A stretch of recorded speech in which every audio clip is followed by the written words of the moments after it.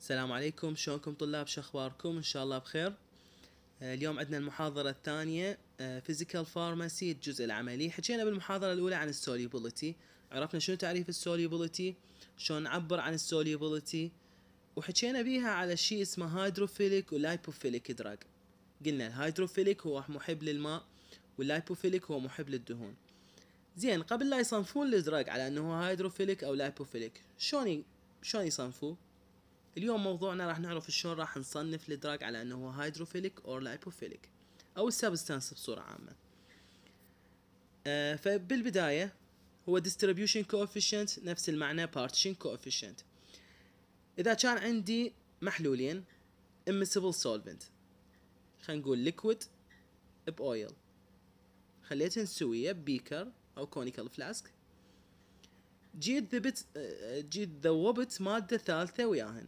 جبت مادة substance drug أريد أعرف هذا راح يروح أكثر لل water أكثر لو لل lipid أخليه shake ول راح أشوفه راح ينتشر أكثر بال بال aqueous phase لو بال organic phase أقيس ال concentration هنا وهنا أشوف بياهو أكثر راح أقول هذا hydrophilic أو lipophilic هاي مختصر اللي دا يصير بهاي التجربة مختصر اللي إحنا نريد نوصله. تمام؟ فهسه نجي نحكي الجزء النظري مالته. If a system made up of two immiscible solvent and a third substance which has a certain solubility in this two solvent is added to this system نفس الحكي اللي حكيناه two immiscible solvent وجبنا مادة ثالثة خليناها عندها solubility تختلف بالمادتين ايش راح يصير؟ This substance will be distributed between the two solvent according to its solubility in the aqueous phase and in the organic phase.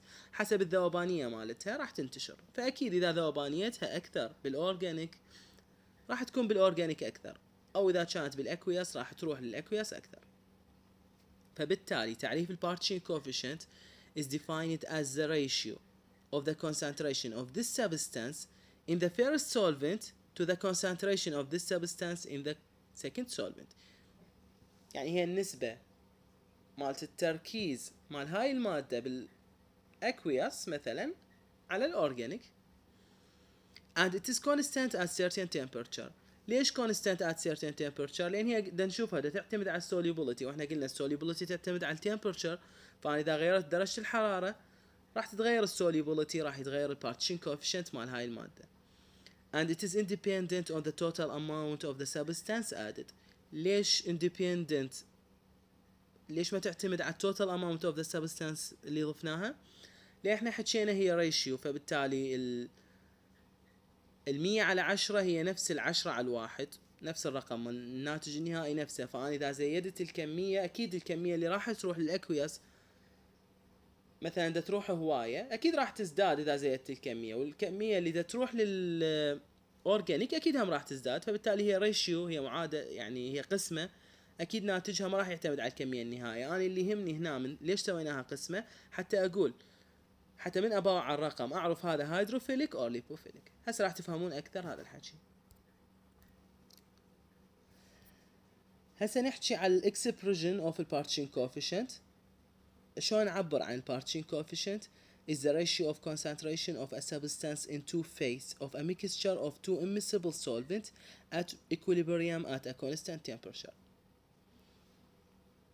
هنا دا يقول البارتشين coefficient يساوي concentration of solute in organic layer concentration of the solute in aqueous layer.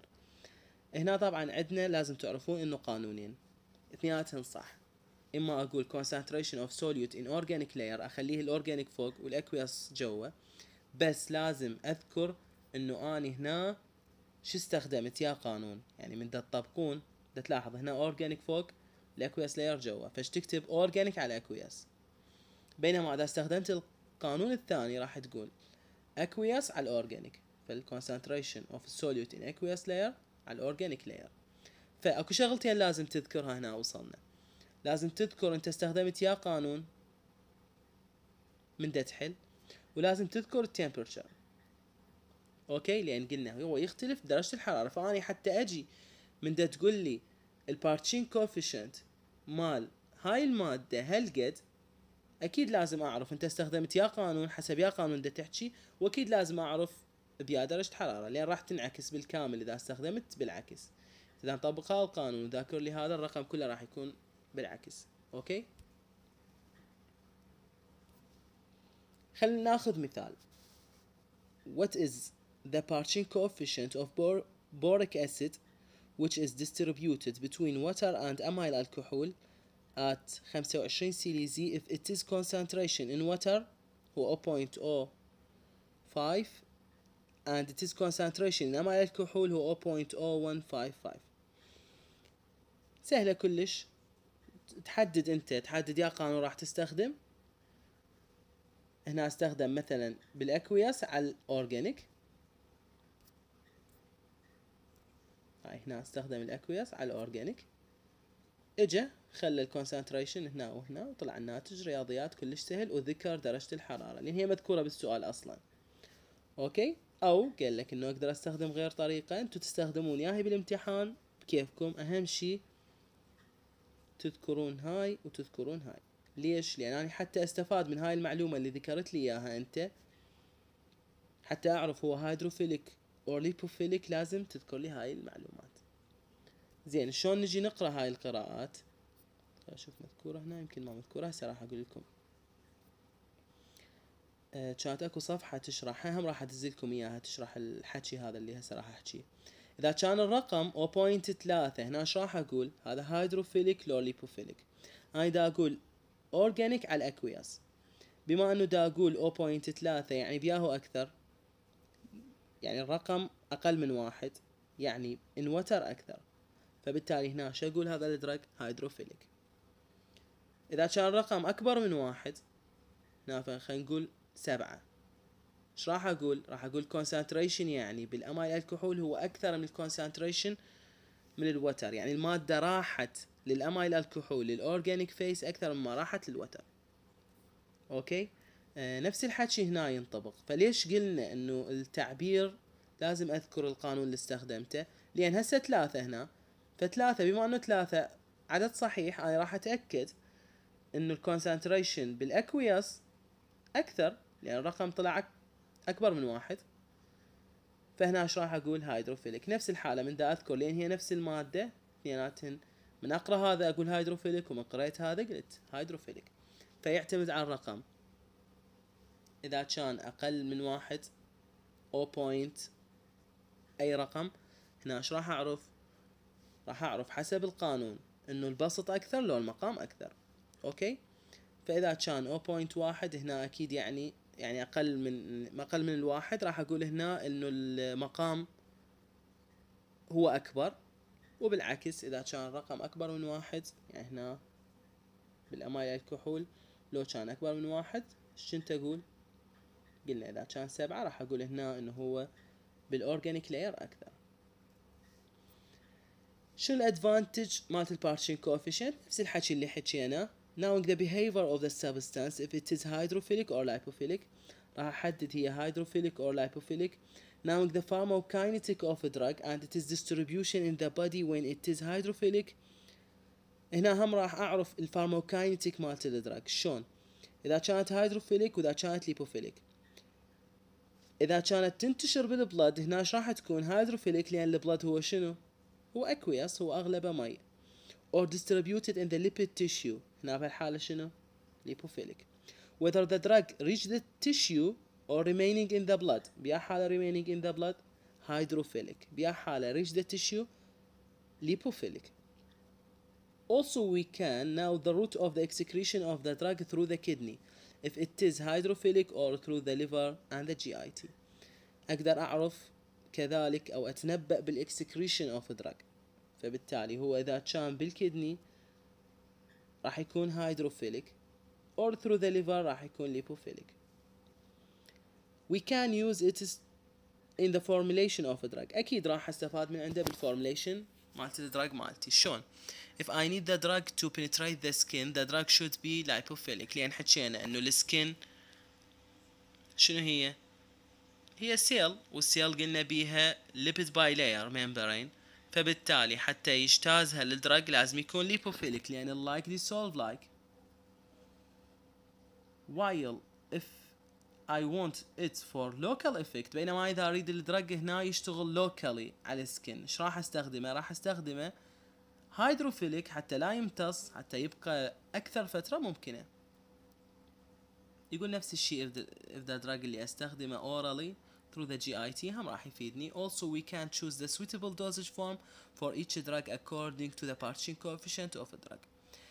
نفس الوقت إحنا نقدر نختار ال dosage form المناسب مالت ال drug حسب ال partition coefficient شلون هنا؟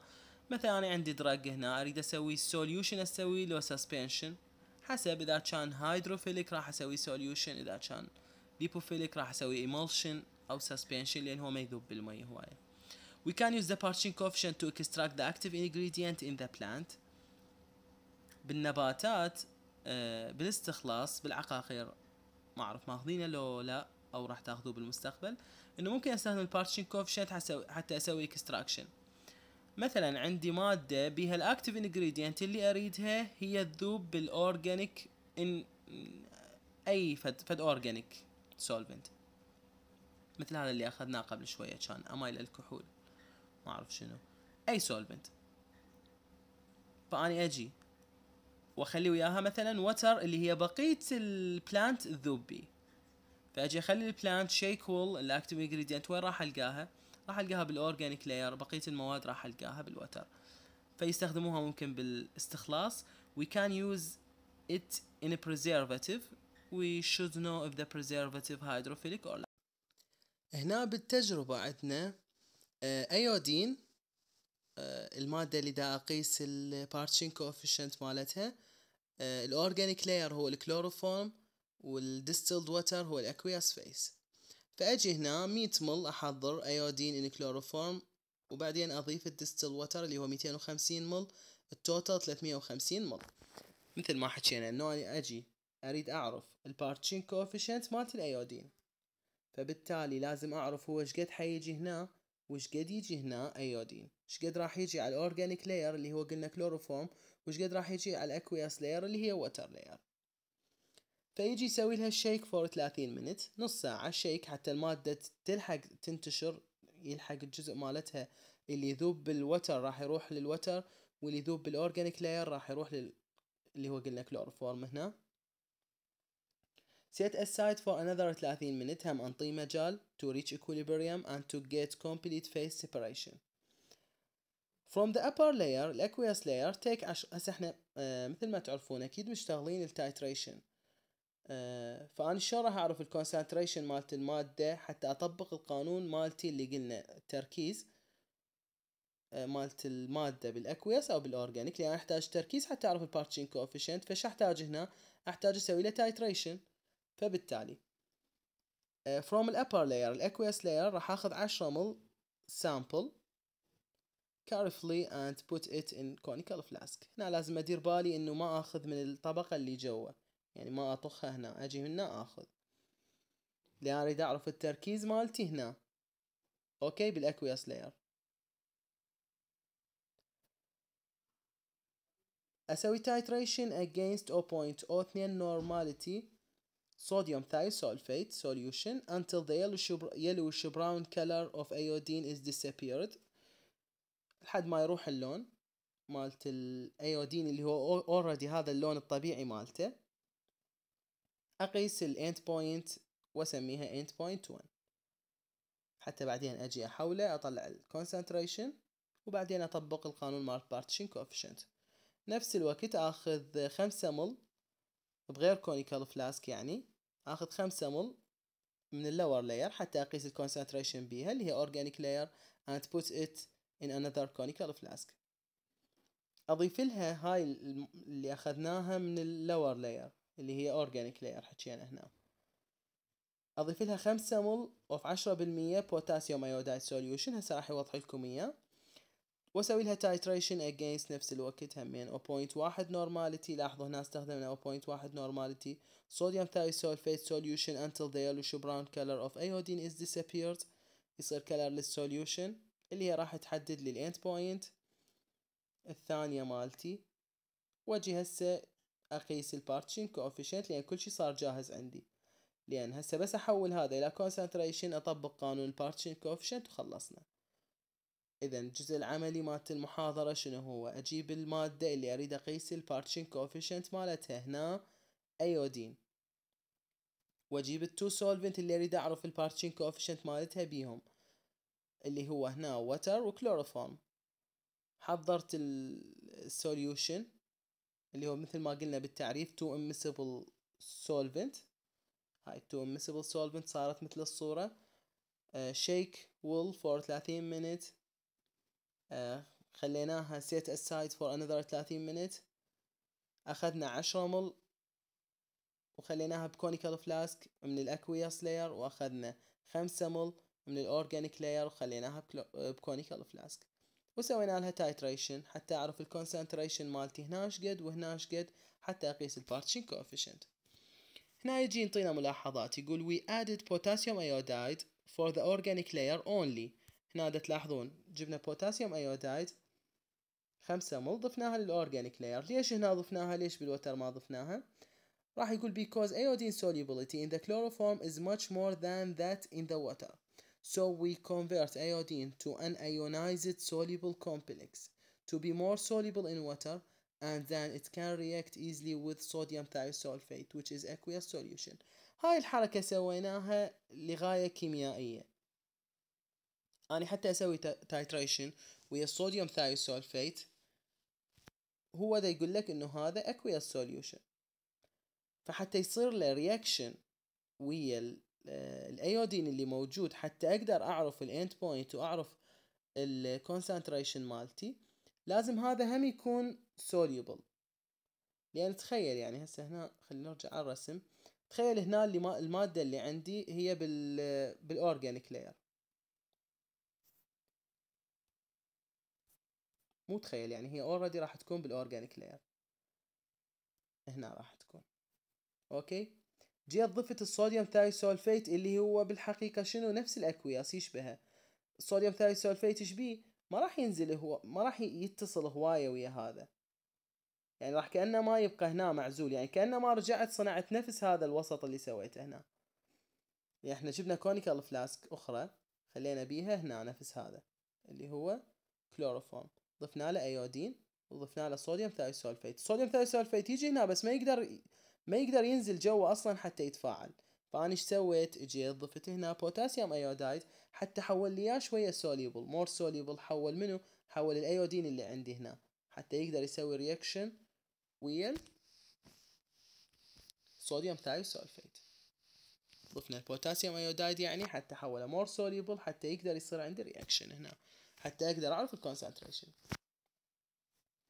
We use the concentration of 0.02 normality sodium thiosulfate solution with aqueous layer استخدمنا 0.02 but 0.1 normality sodium thiosulfate solution with organic layer بينما بالorganic layer إيش قد استخدمنا تركيز أكثر because in the aqueous layer there is a little amount of iodine dissolved in the water so require a low concentration. لأن يحتاج آه، تركيز قليل صوديوم ثايوسولفيت لأن قلنا هو أصلا الذائب قليل.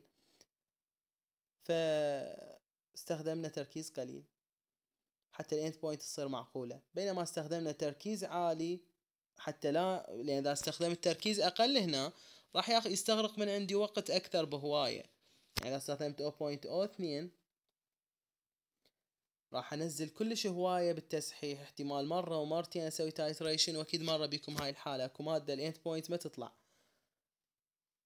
فاني أريد أوصل ال end point بوقت معقول. ما راح يأثر عندي على النتيجة. لأن هم يعرفون إنه هاي المادة ذوبانيتها هنا أكثر فاختصروا الحكي مباشرة استخدموا تركيز أكثر حتى يوصلون ال end point بسرعة. While in organic layer there is a, high amount of iodine dissolved in the chloroform so require a high concentration. And for the same reason we withdraw 10 ml from the upper layer but 5 ml from the lower layer. The end point will be reasonable and acceptable. ولنفس السبب إحنا استخدمنا 10 مل من ال upper layer ليش؟ لأن بيها المادة قليلة كلش لأن الذوب هي بالكلوروفورم أكثر فبيها كلش قليلة حتى هم اسرع ال end point اوصلها بسرعة بينما استخدمنا خمسة من ال lower layer اللي هو organic layer لأن قلنا هي ذوبانيتها بال organic layer أكثر فبالتالي أنا أحتاج لها تركيز أكثر وقليل كمية قليلة من المادة يعني بسرعة يعني حتى أوصل end point بأسرع وقت ممكن يعني مو كلش سريع بس وقت معقول. لا قبل أخلي المادة وهي already واصلة end point ولا أطول كلش هواية حتى أوصل end point يعني هذا الحكي كيميائي أكثر شي.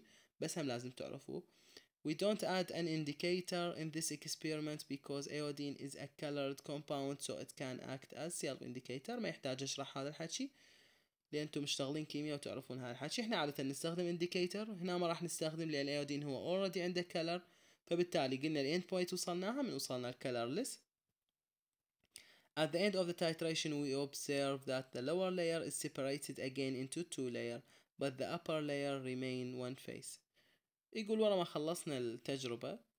شفنا إنه صار عندي separation again into two layer بال بال lower layer ليش؟ لأن قلنا ال lower layer هي lipid بينما المادة اللي ضفناها آه، اللي هي الصوديوم thiosulfate هي water فبالتالي هم انفصلت. نفس ما حكينا هنا. قلنا أني آه، من راح إذا جيت هنا سويت ال titration راح ينفصل.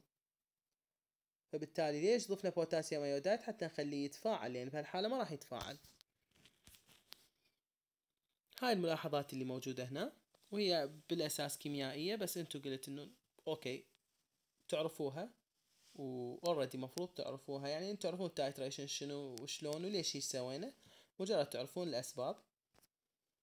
هسه نجي على الحسابات مالتنا. إحنا عندنا صار عندنا جاهز end point واعرف التراكيز اللي استخدمتها. تعرفون ال titration شلون اطلع ال concentration n1 v1 يساوي n2 v2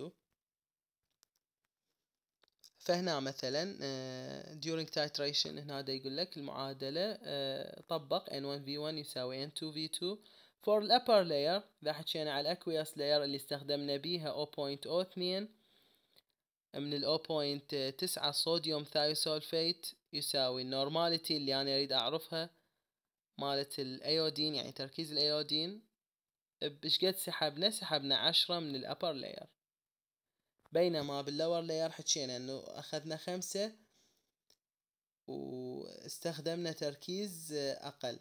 أخذنا أو point قصدي تركيز أكثر. فهنا أو point واحد. هنا استخدمنا 0.02 عرفنا ليش استخدمنا هالقد حتى اوصل ل end point بوقت معقول؟ لأن هنا آه 0.02 لأن المادة already هي ذايبة قليلة فاستخدمناها استخدمنا لها تركيز قليل وأخذنا كمية هواية. حتى شنو؟ حتى أقدر أوصل ال end point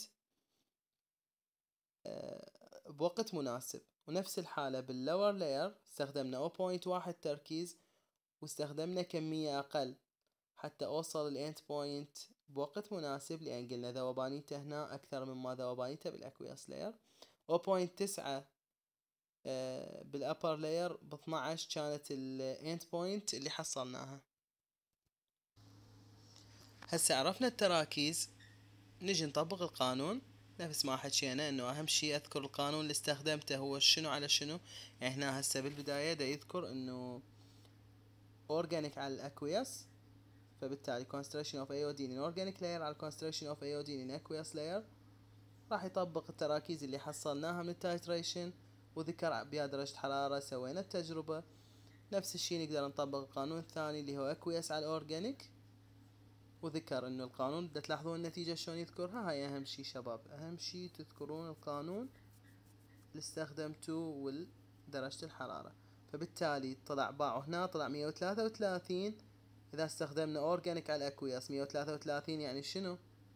يعني البسط هواي أعلى. يعني ذوبات ذوبانيته وين هواية؟ بال organic لأن إحنا أصلا هسه حكي نص اللي بدنا نحكي بالتفسير الكيميائي إنه هو ذوبانيته بال organic هواي أكثر. ال iodine ذوبانيته بالكلوروفورم هواي أكثر من ال water. أو استخدمنا هذا القانون اللي هو اثنيناتهم صح هنا فسرناه إنه ذوبانيته هنا بال بال organic layer أكثر. هنا نفس الشيء. إذا طبقت القانون بطريقة معكوسة خليت ال aqueous layer فوق وال organic layer جوا راح يكون الناتج عندي 0.007 فقلنا أقل من واحد. يعني شنو؟ هنا. يعني هم نفس التفسير راح تفسره إنه ال organic إنه المقام هنا أعلى. تلاحظون إنه هو أعلى. فبالتالي راح أقول هنا إنه هو ذوبانيته بال organic layer أكثر.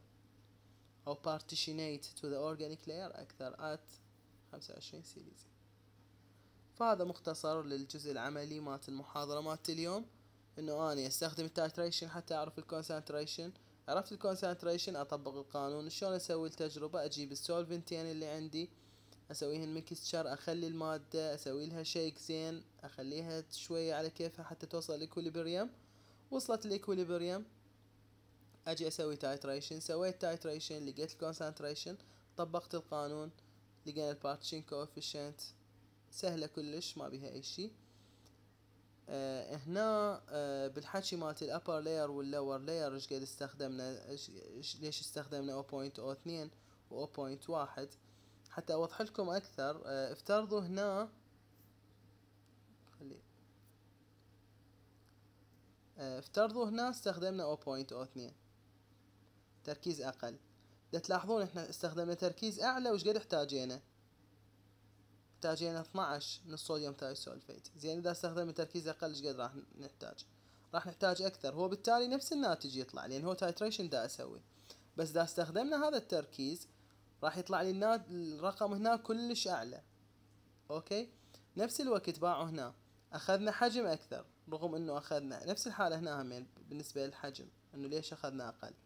إذا هنا مثلا هنا مثلا أخذنا حجم أقل أو أخذنا تركيز أعلى.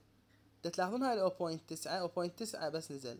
يعني إذا زيدنا التركيز ل 0.1 أول قطرة تنزل راح تصير عندي end point فبالتالي not reasonable مو معقولة يعني ما تقدر شو تقيس؟ شو تقول؟ قطرة واحدة؟ فبالتالي هم هنا عرفوا هذا الحكي فاستخدموا تركيز أقل بمادة أكثر حتى تلحق تتفاعل ويا الصوديوم ثايوسولفيت تمام؟ هاي تفهموا أكثر من راح تفهمون ال titration بالمراحل الأخرى و already أنتم ماخذيها وفاهميها بس هنا هم لازم تعرفوها حتى تعرفون إيش دا يصير وليش إيش صار. وخلصت المحاضرة. تعريف بالبداية تعرفون شنو يعني partition coefficient شلون نعبر عنه. أهم شي تعرفون بالقانون من نطبقه شلون دا نحكي وشلون نعبر عنه وشلون نكتب. هاي إنه استخدمت aqueous على ال organic بهاي درجة الحرارة. هن قانونين سهلات طبيعيات جايات من التعريف أصلا تقدر تشتقها من التعريف. وأي سؤال عندكم آه، اسألوني إن شاء الله بالمحاضرة الجاية بداية المحاضرة. أي سؤال عندكم أو بنهاية المحاضرة الجاية تسألوني عن هاي المحاضرة أو المحاضرة اللي قبلها.